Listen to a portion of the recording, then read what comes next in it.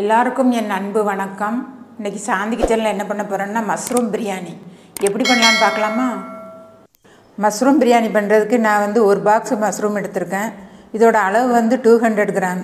இந்த காளானை ரெண்டு மூணு வாட்டி நல்லா கழுவிட்டு நம்ம ரெண்டு ரெண்டாக கட் பண்ணி எடுத்துக்கலாம். இப்போ நான் மஷ்ரூம் பிரியாணி பண்ணுறதுக்கு நானூறு கிராம் பாஸ்மதி ரைஸ் எடுத்திருக்கேன். இந்த ரைஸை வந்து நம்ம ரெண்டு வாட்டி தண்ணி ஊற்றி நல்லா கழுவி எடுத்துக்கலாம். இப்போ ஸ்டவ் ஆன் பண்ணி அதில் குக்கரை வச்சு ரெண்டு ஸ்பூன் நெய் ஊற்றிக்கலாம். அது கூடவே ரெண்டு ஸ்பூன் ஆயில் அதையும் சேர்த்துக்கலாம். நெய்யும் எண்ணெயும் சூடானதுக்கப்புறமா ரெண்டு பிரிஞ்சி இலை அப்புறம் ஒரு நாலு ஏலக்காய் நாலு கிராம்பு ஒரு சின்ன துண்டு பட்டையை உடச்சி வச்சுருக்கேன். அப்புறம் ஒரு அன்னாச்சி பூ இது எல்லாத்தையும் சேர்த்து நல்லா வாசம் வர்ற வரைக்கும் வதக்கி விட்டுக்கலாம். நான் இது கூட சோம்பு வந்து சேர்க்கல. ஏன்னா நான் கறி மசாலா கூட சேர்த்து அரைச்சிட்டேன். உங்களுக்கு தேவைப்பட்டால் சேர்த்துக்கோங்க. இது கூடவே நான் ஒரு பெரிய பல்லாரி வெங்காயம் கட் பண்ணி வச்சுருக்கேன். அதையும் இது கூட சேர்க்குறேன். சேர்த்து நல்லா வதக்கி விட்டுக்கலாம்.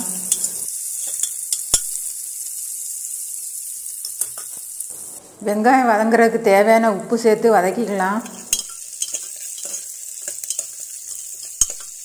வெங்காயம் நல்லா வதங்கினதுக்கப்புறமா ஒரு ஸ்பூன் பூண்டு பேஸ்ட்டு ஒரு ஸ்பூன் இஞ்சி பேஸ்ட் பச்சை வாடை போகிற வரைக்கும் நல்லா வதக்கி விட்டுக்கலாம்.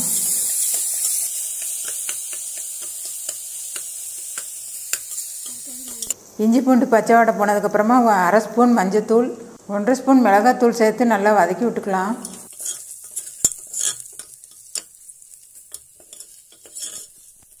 நல்லா கலந்து விட்டதுக்கப்புறமா ஒரு கையளவு புதினா இலை ஒரு கையளவு மல்லி இலை.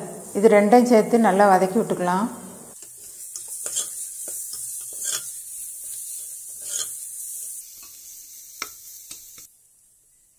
புதினாவும் மல்லியும் நல்லா வதங்கினதுக்கப்புறமா ஒரு ரெண்டு பெரிய சைஸ் தக்காளி கட் பண்ணி வச்சுருக்கேன். அதையும் இது கூட சேர்த்து நல்லா வதக்கி விட்டுக்கலாம். இது கூடவே ரெண்டு ஸ்பூன் தயிர் ஊற்றிக்கலாம் தயிரை போ ஊற்றுனதுக்கப்புறமா நல்லா கலந்து விட்டுக்கலாம்.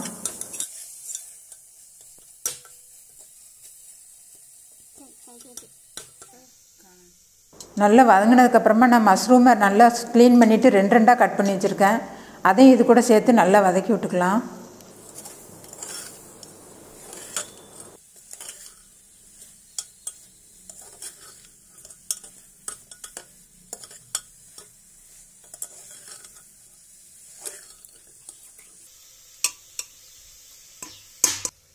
மஷ்ரூமை நல்லா வதக்குனதுக்கப்புறமா ஒரு ஸ்பூன் கரம் மசாலா அதையும் இது கூட சேர்த்து நல்லா வதக்கி விட்டுக்கலாம்.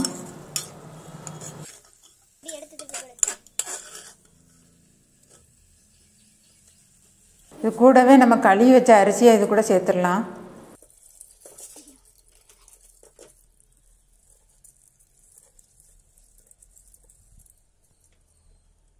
அரிசியை சேர்த்து நம்ம அந்த மசாலா எல்லாம் ஒன்றா சேர்கிற மாதிரி நல்லா கலந்து விட்டுக்கலாம்.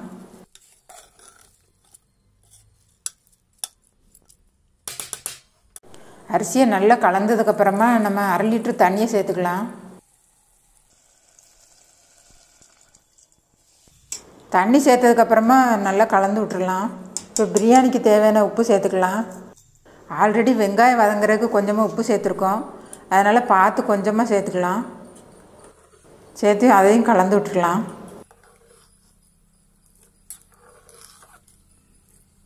நல்லா கலந்ததுக்கப்புறமா ஒரு கொதி வந்தோடனே நம்ம குக்கரை மூடி வச்சிடலாம். குக்கரை மூடி ஒரு விசில் வர்ற வரைக்கும் வெயிட் பண்ணலாம். ஒரு விசில் வந்துருச்சு நம்ம ஸ்டவ்வை ஆஃப் பண்ணிடலாம். இப்போ ஸ்டீம்லாம் ரிலீஸ் ஆகிடுச்சு நம்ம குக்கரை திறந்து பார்த்துடலாம். அவ்வளோதாங்க. பிரியாணி சூப்பராக ரெடி ஆகிடுச்சு பாருங்கள் காளான் வந்து ஹெல்த்துக்கு ரொம்ப நல்லது. அதனால் நீங்கள் அடிக்கடி சாப்பாட்டில் சேர்த்துக்கோங்க. இதே மாதிரி நீங்களும் செஞ்சு சாப்பிட்டு பார்த்து எப்படி இருக்குன்னு கமெண்டில் சொல்லுங்கள் தேங்க்ஸ் ஃபார் வாட்சிங்